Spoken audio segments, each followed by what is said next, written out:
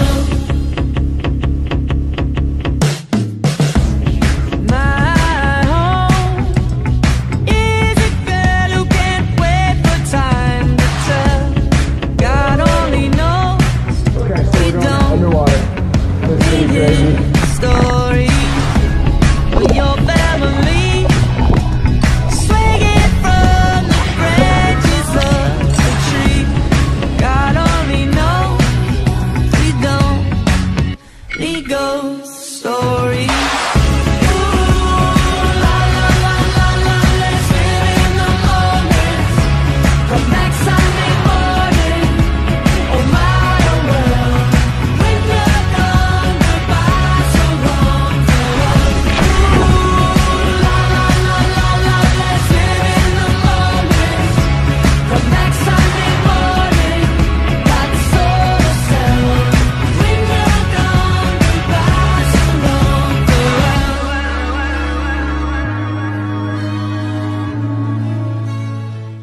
Even though it's not a sweet or semi-dry wine.